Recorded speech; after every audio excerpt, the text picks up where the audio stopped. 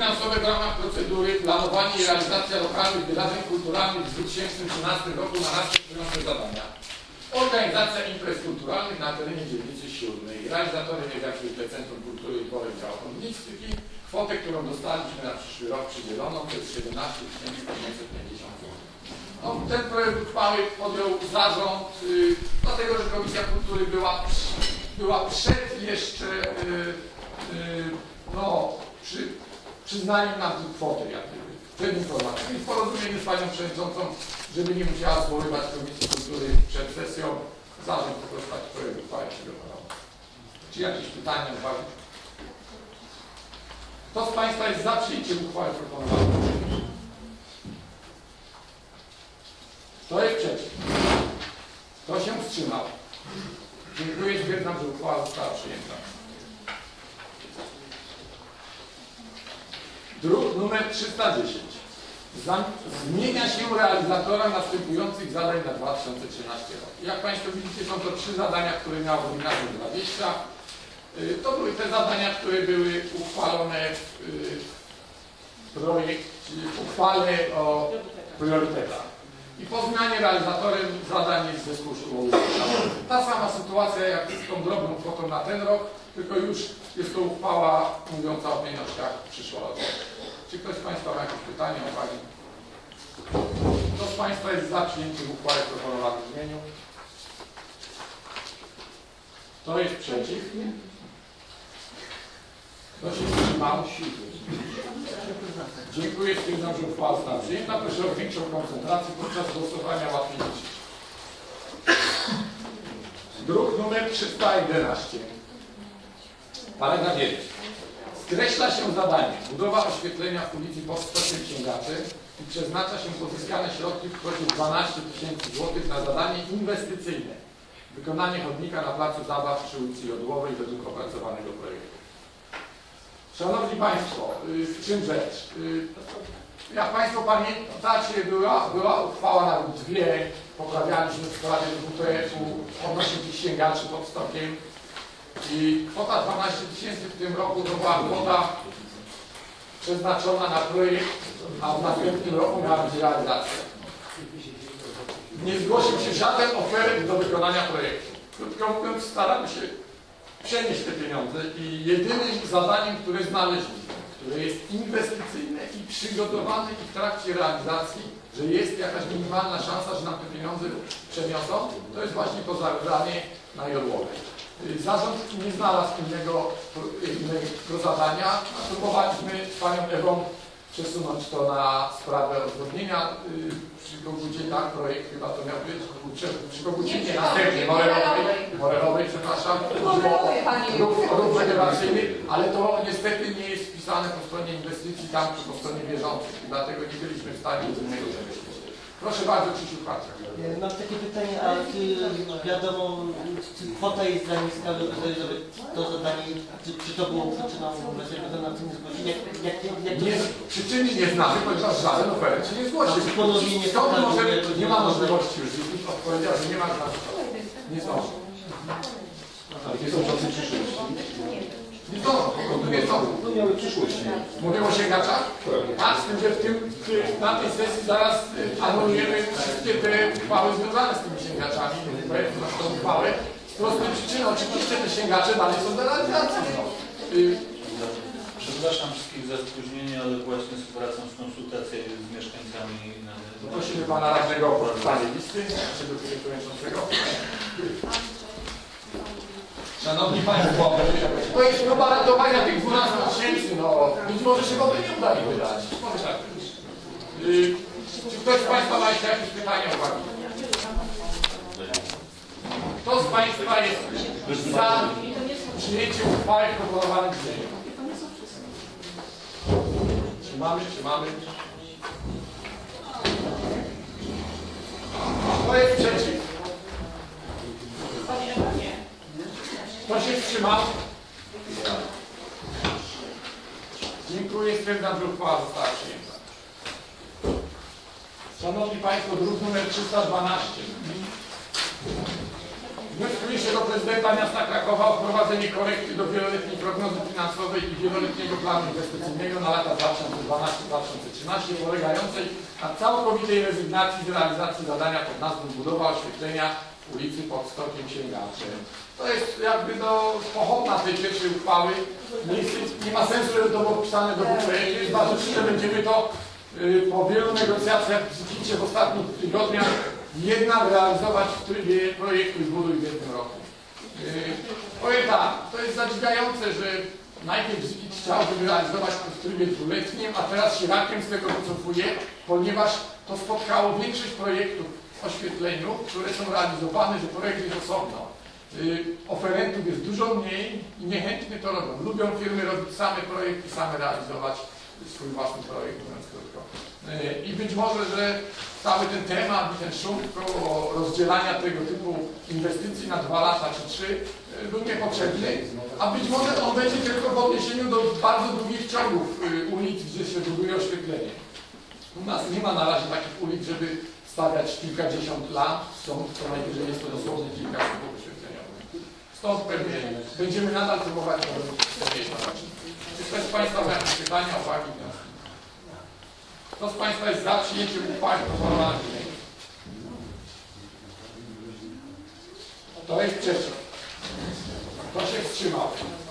Dziękuję, że uchwała została przyjęta.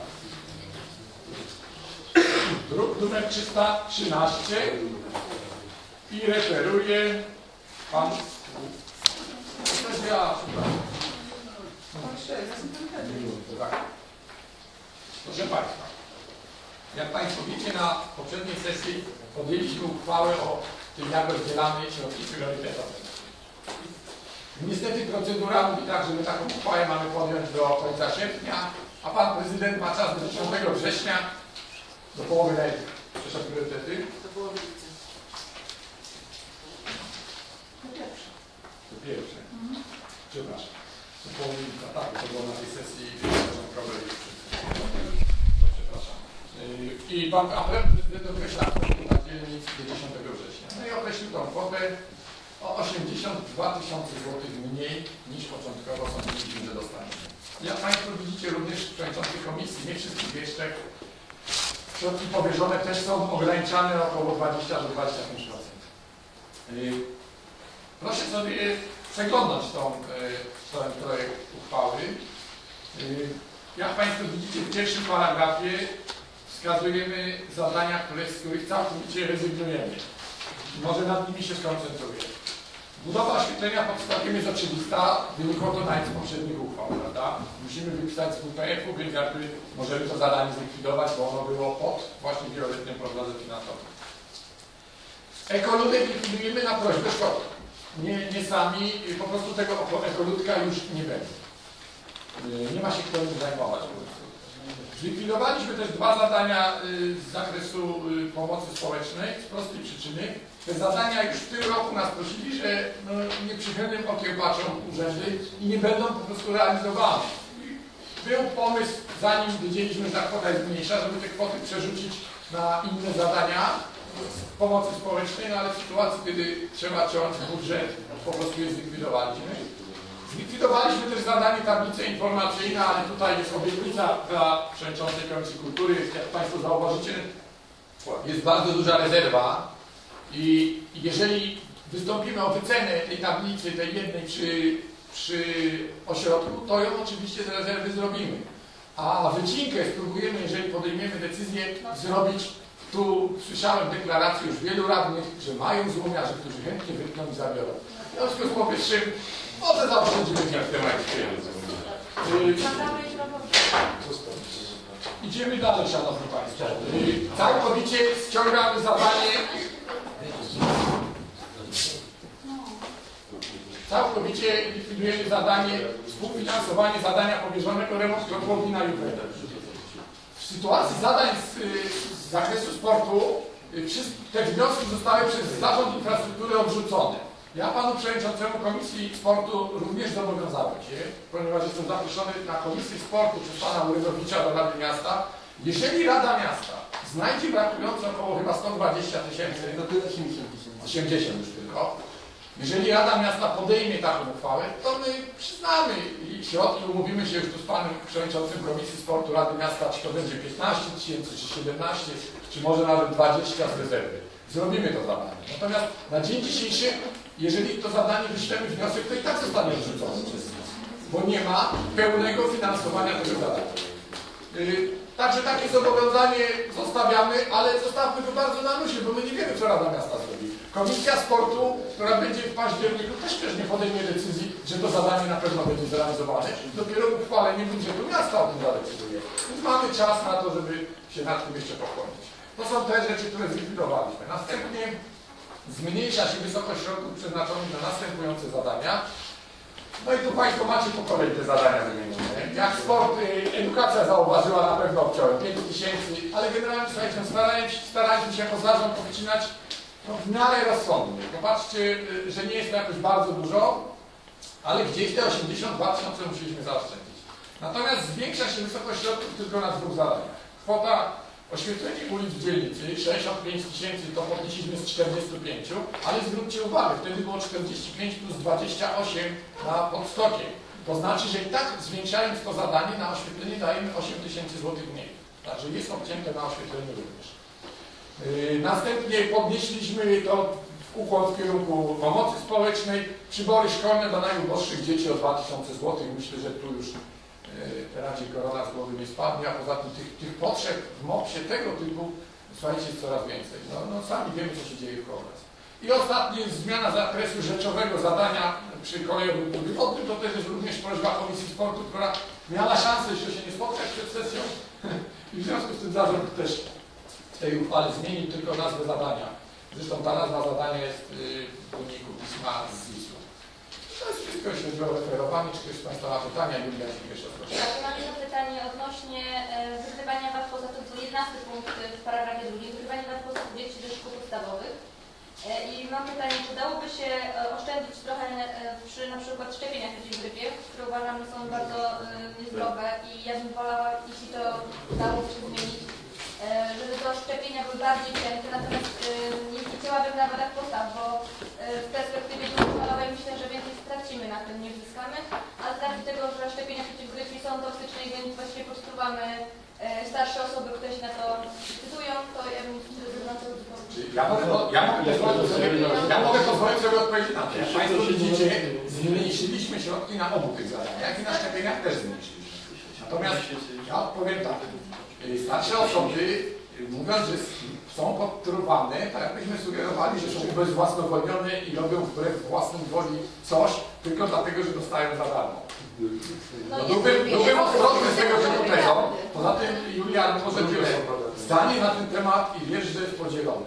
Natomiast wiem, że jak e, obetniemy te szczepionki rażąco, to mieszkańcy to na pewno zauważą, bo oni jednak korzystają z tych szczepionek.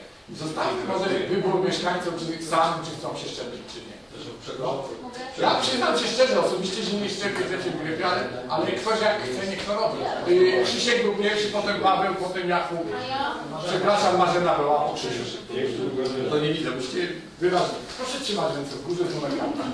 Y, Krzysiu, Karpacia. To jest sytuacja, w której mamy jeden z najmniejszych zadań priorytetowych w ostatnich latach, nie bardzo... Ja chcę powiedzieć Julii na... A to proszę bardzo, to.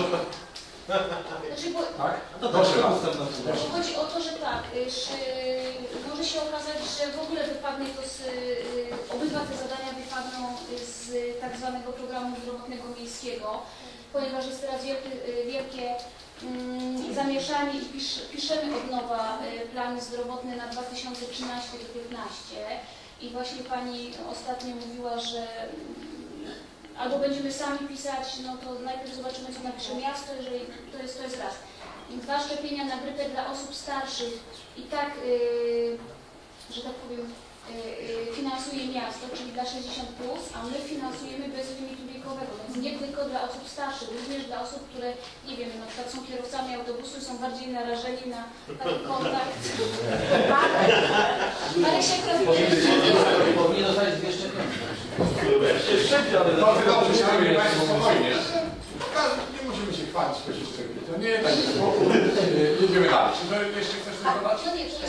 No to proszę, się chwalić. W czy w sytuacji, w której mamy jeden z najmniejszych, z najmniejszych środków na zadania priorytetowe w ostatnich latach, nie warto by poszukać oszczędności na przykład na kurierze Zwierzynieckim, na różnych takich, nie mówię, żeby rezygnować, ale żeby parę tysięcy złotych oszczędzić na tym, a e, nie obcinać na przykład na pomocy społecznej, czy na takich rzeczach, które są e, no, których skutki obcięcia są dużo bardziej odczuwalne, podejrzewam, że niestety niż to, że nie otrzymają, otrzymają jeden numer kuriera w ciągu roku mniej, no nie wiem. Wydaje mi się, że w tym obszarze bym bardziej też szukał oszczędności. Rozumiem. Pan Paweł. Znaczy, czy... Zaraz. Chciałbym tutaj poprzeć na pewno Julię, bo wczesne wykrycie wad postawy uchroni nas od dużych pieniędzy, które później trzeba To dawać. E, Więc przeznaczenie, tak, przeznaczenie większych pieniędzy na to zdecydowanie poprawi tutaj jednak zdrowotność niż szczepienia na grypie, co jest rzadkość. Ja jeszcze No moment, moment, nie, nie, nie. Andrzej Wawranek, potem Łukasz dopiero. Ja przede wszystkim bardzo bym przestrzegał przed sformułowaniem radykalnych tez, czy szczepienia szkodzą, czy nie szkodzą. Tak, tego Zwłaszcza, nie wiem. zwłaszcza przez osoby, które z całym szacunkiem nie mają wykształcenia żadnego w tym zakresie, o ile, wi- o ile mi wiadomo. My, Moment, moment. Ja, ja rozmawiałem na ten temat przynajmniej z czterema albo pięcioma profesorami medycyny. Jako, że też jestem bardzo, bardzo sceptycznie, powtarzam, profesorami medycyny. Ktoś może ten tytuł uważać za mało ważny, niemniej jednak zdobycie tytułu profesora medycyny nie jest taką prostą sprawą, jakby się wielu z nas. Ja osobiście się nie szczepię, dlatego, ale nie dlatego, że uważam, że te szczepienia są, że te szczepienia są szkodliwe, tylko według mojej wiedzy one po prostu są nie zawsze skuteczne. Nie, ale to nie znaczy, że są szkodliwe. Niemniej jednak zdaniem w zasadzie jednoznacznym tych ludzi, z którymi rozmawiałem na ten temat, zdanie było takie, że szczepienia na grypę powinny istnieć, tym bardziej, że Polska jest jednym z najmniej, na, o najniższym stopniu wyszczepialności, między innymi na te szczepionki i w związku z powyższym mamy jeden z najwyższych współczynników umieralności na klasyczną grypę. Po prostu. W krajach, gdzie te szczepienia są znacznie bardziej popularne, ten współczynnik umieralności w porównaniu z Polską jest o około 50% niższy. Ja nie wiem, czy to jest przypadek, czy, czy, czy, jest, to efekt, czy jest to efekt szczepień, niemniej jednak wszyscy, wszyscy lekarze, którymi na, te, z którymi na ten temat y, rozmawiałem, a powtarzam, mają tytuły profesorskie, twierdzili, że to jest właśnie efekt szczepień. Także szanuję zdanie Julii, ale prze, byłbym przestrzegał przed tak radykalnymi stwierdzeniami, że szczepienia na grypę są szkodliwe. To tylko tyle, do pozostałej treści uchwały się odnosił nie będę. Łukasz Filipia, potem Marzena. Tutaj odnośnie właśnie tych spraw, no szczepienia na grypę tutaj są y, mniejsze jakby okej. Okay. Pani Zobacz, te szczepionki cieszą się dosyć dużą popularnością y, u nas w dzielnicy i jedno, Tak. jedno Ile osób w zeszłym roku się zaszczepiło? 500 szczepionek było zapłaconych, 500 osób zaszczepiło się w przeciągu dwóch tygodni. I oni się zaszczepili? Tak, oni się zaszczepili. Brakuje za Pana Zabawca. Y, Co do, co do, co do wykrywania was postawy, sprawa wygląda tak, że no jest tutaj trochę mniej tych pieniędzy. Normalnie w zeszłym roku było rekordowo 16 tysięcy na ten, na ten cel.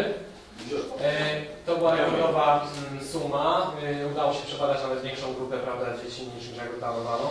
E, W 2013 być może będziemy będą mniejsze pieniądze, ale tak najbardziej w pełni wyczerpuje realizację programu. Wszystkie prawda, nowe roczniki zostaną przebadane. Może być ewentualnie, że nie każde dziecko będzie przebadane kolejno. Kolejnie, które już było kiedyś badane, dlatego że również bada się dzieci, które kiedyś były już badane, żeby zmierzyć efekt, czy przynosi to do celów tam, badań, zresztą. opracowania. Pogadaj się z Jurem, bo faktycznie Ale- już nie odrzeć. To nie, nie jest tak jak... Ale przepraszam, ale, przepraszam, ale... Jeżeli, jeżeli można przerywać, e, jak najbardziej jesteśmy w kontakcie z jednostką, która realizuje to na terenie naszej dzielnicy. Mamy doskonałe informacje, które grupy w których szkołach są badane. Dokładnie wygląda to tak, że dziecko jest badane i ma 16 darmowych tak zwanych y, korekcyjnych A po drugie jeszcze jest jedna kwestia, a mianowicie e, Wydział e, Biuro Spraw Zdrowia nieco kwestionuje wysokość ceny jednostkowej tego badania. Nie ukrywam, że również chcieliśmy zmniejszyć w tym roku nieco pieniądze na ten cel, by nieco wymusić na, e, realizatorze, na, realizatorze, na realizatorze zadania nieco obniżenie tej ceny jednostkowej za to badanie, ponieważ rzeczywiście z naszej wiedzy są one nieco wyższe niż u całej konkurencji. I to, to również. Jak najbardziej oczywiście nie jestem zwolennikiem cięcia jakkolwiek, prawda, w tych tematach, którymi się również zajmuję. ale prawda, mając świadomość tego, że trzeba szukać oszczędności, uważam, że to jest sprawiedliwe, że z jednego i drugiego zadania e, jakieś pieniądze zostały mm, zabrane.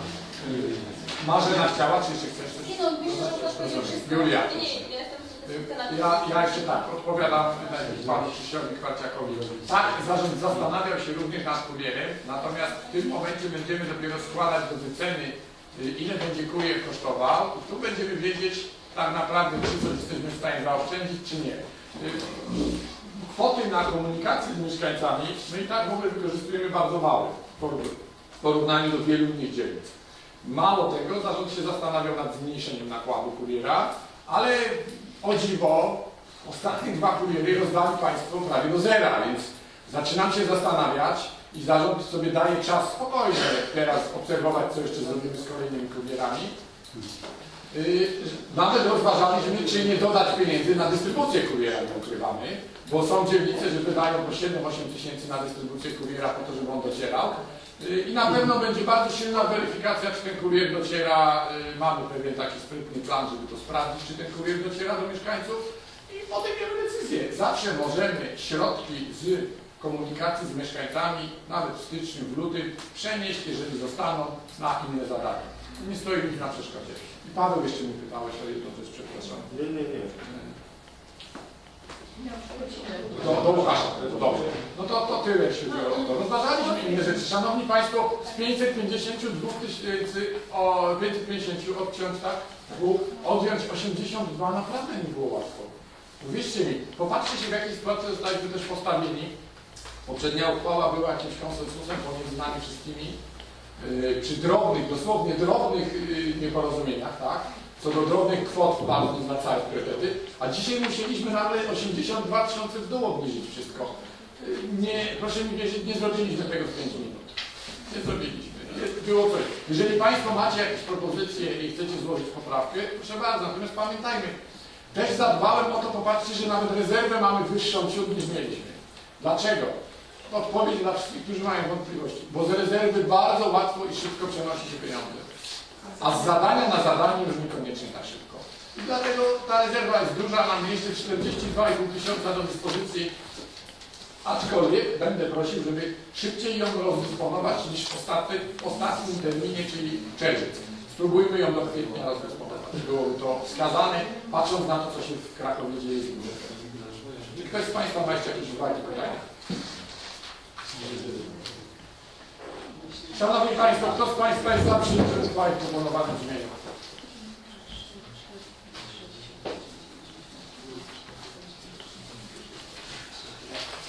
Kto jest przeciw? Kto się wstrzymał? Dziękuję, stwierdzam, że uchwała została. Druk numer 314. Przyjmuje się projekt planu finansowego dzielnicy 7 Zwierzyniec na 2013 rok na kwotę 34 tysiące przedstawiony w załączniku. Załącznik jest z drugiej strony. Tu również, Szanowni Państwo, z 40 tysięcy obniżono nam na 34 tysiące. Macie Państwo po kolei paragrafy. To są te pieniążki, które prawda, wydajemy tutaj na utrzymanie e, dzielnicy. E, Proszę bardzo, czy są jakieś pytania, wnioski?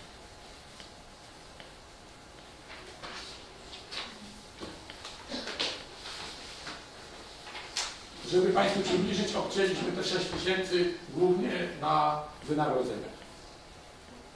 Czyli Pani sprzątaczka, którą negocjacje y, trwały, tu dziękujemy Pani Tereni, bo wynegocjowała dużą obniżkę Pani sprzątającej y, i również y, Pani Terenia zrezygnowała z części swojej, swojej zapłaty. I to w zasadzie oszczędności są poniesione przede wszystkim chyba no, w głównej mierze na, na tych y, płatach. Aha, jeszcze żebyście wiedzieli, musimy za listopad i grudzień te pensje i, i ZUSy, to wszystko jest te podatki zapłacić z przyszłorocznego, z tych 34 tysięcy. Już wpłynęło tak, Także jeszcze na te pieniądze w tym roku Pan Prezydent też zabrał. Czy ktoś z Państwa ma pytania? Kto z Państwa jest za przyjęciem uchwały w proponowanym brzmieniu? Kto jest przeciw? Kto się wstrzymał? Dziękuję. Stwierdzam, że uchwała została przyjęta. Druk numer 315. Paragraf 1. Wnioskuje się o oznakowanie drogi osiedlowej na działce nr 318 przez 26 obręb 14 Krowoka znakiem B35 po obu stronach drogi. Obecnie taki znak zakazu znajduje się tylko po jednej stronie drogi. Jak Państwo czytacie w uzasadnieniu, yy, do tej pory, pamiętacie Państwo, to jest między Senatorską 24, a tym budynkiem dużym, w którym znajduje się Alma. To jest droga wewnętrzna, którą przebiega dojazd yy, między innymi do bloku 24, do ich garaży i tam od drugiej strony, jak i również zaopatrzenie do strefy Alma. Jak rok temu jeszcze, pamiętacie Państwo, zarząd podjął tą uchwałę yy, w trakcie wakacji, Jak referowałem do kilkoro radnych, prawda, no, no dało to wątpliwość tą likwidację kilku parkingowych. Ale wtedy tylko był znak po jednej stronie. Siki udał, że nasza uchwała jest o tyle ułomna, że nie, nie pokazaliśmy wprost, że chcemy z obu stron, w związku z tym przez rok nie ustalił tych znaków. Yy, Teraz dostaliśmy pismo, zresztą to pismo Komisja Infrastruktury również otrzymała.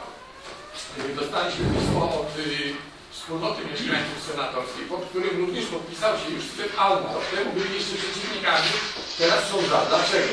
Parkujące samochody z jednej strony również im utrudniają dostawę towaru.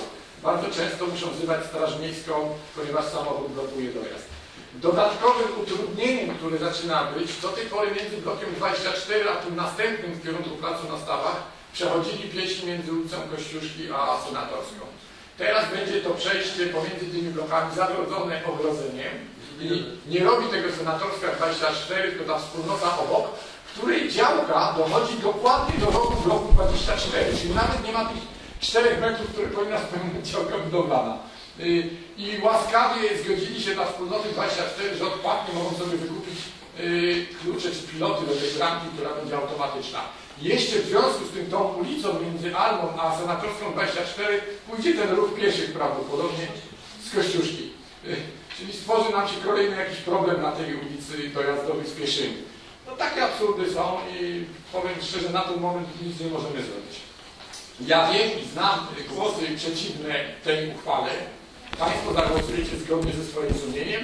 Jedno jest tylko powiedziałem wspólnocie, tak, że Rada zagłosuje i tak jak będzie wynik głosowania zostanie jutro przekazany. Proszę bardzo, się patrzy.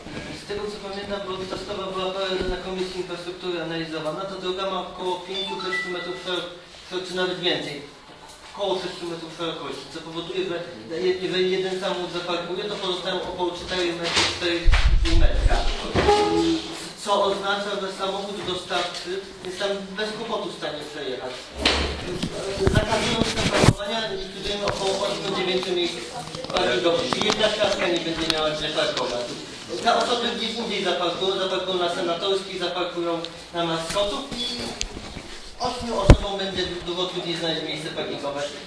A pytanie, na jakim stopniu, czy ten problem, generalnie jest problem z poruszaniem się prawda, po tej części dzielnicy. Pytanie, czy ten problem jest aż tak duży, żeby to przemawiało za e, likwidacją akurat e, tutaj możliwości parkowania, bo w wielu miejscach jest ten problem. To na, na tej zasadzie zaraz powinniśmy przy sędzie zrobić zakazy parkowania tak na, u, u, na, na, na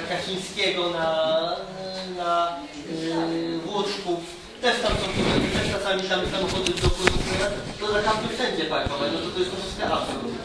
Mo, moim zdaniem yy, ograniczenie konsultacji tylko do mieszkańców bezpośrednio jest błędem. Trzeba do tego konsultacje zrobić szerzej i po prostu spółdzielnie z tego bloku wystąpiła świadczy o tym, że Dlatego chciałem wniosek formalny o odesłanie projektu do projektodawcy. Czy celu przeprowadzenia konsultacji. To znaczy odpowiem tak, pan radny trochę żartuje z nas, ponieważ konsultacje społeczne przeprowadziła wspólnota i, i dobrze, czyli ja rozumiem, że równocześnie pan radny zobowiązuje się przeprowadzić te konsultacje. No obowiązuje się, tak. Proszę, ja potem Jest tak, jest problem, jest y, w ogóle parkowanie przy, z tego co wiem, w ogóle Alma ma problem z miejscami parkowymi, w ogóle, że sk- y, uczestnicy y, sklepu za, nie mają gdzie zaparkować samochodu, jeśli chce się zrobić zakupy, bo, bo, bo jest y, przed wejściem, gdzie generalnie powinno być miejsca parkingowe dla użytkowników sklepu. y, y, Straż Miejska notorycznie tam chodzi i łapie, bo mówi, że ma 15 metrów, być tego, ale nie ma zapewnionego, nie ma zapewnionego miejsca parkingowego. Tak, ale y, teraz y, jeżeli się jeszcze zrobi zakaz parkowania gdzieś tam na tego, no to ci mieszkańcy no, to nie będą w ogóle mieli gdzie, gdzie parkować. Bo jak wszyscy Ja, będą- ja zrobię wyjątek, dopuszczam jeszcze pana Jurka i głosujemy. Yy, Później mogę No bo właśnie, no bo... Na Nie, no bo- nie, bo chciałem to wyjaśnić jasno. Sprawa jest bardzo prosta. No, blokujemy, y, zabieramy mieszkańcom ileś tam miejsc To parkingowych. jest tak dokładnie jak sposza. Zabieramy. Był, były tu dwie panie, rozmawialiśmy na komisji. Później się okazało, że jak im powiedziałem, że chodzi wam tylko o to, że parkuje, te samochody parkują przed waszymi oknami, to zgodziły się nam na to, że to w sumie tak jest, że oni parkują przed naszymi oknami. Tak jak Krzysiek mówił, tam jest bardzo szeroko. Nie przeszkadza to nikomu, naprawdę. A pan kierownik Almy niech sobie o swoje dba życzy. Bo ja znam wielu takich kierowników, że chciałoby mieć ekstra dojazd do swoich sklepów i ich nie mają. Dobrze, Proszę pana, na placu czy gdzieś nikt nie ma dojazdu do, do szanowni sklepu. państwo, A pan kierownik niech, niech sobie... Głosujemy wniosek formalny Krzysztofa Krzysztofa y, Głosujemy o przeprowadzeniu powrót do zaglądu projektu, ale ja od razu uprzedzam, zobowiązuję pana radnego Kwarciaka do przeprowadzenia tych konsultacji, ponieważ zarząd nie będzie przeprowadzał w miesiącu czterech konsultacji społecznych bez pomocy radnych. Zobowiązuję się, że wyprowadzę. Y, Proszę bardzo, kto z Państwa jest za wnioskiem formalnym autorstwa Krzysztofa Kwarciaka? To jest trzeci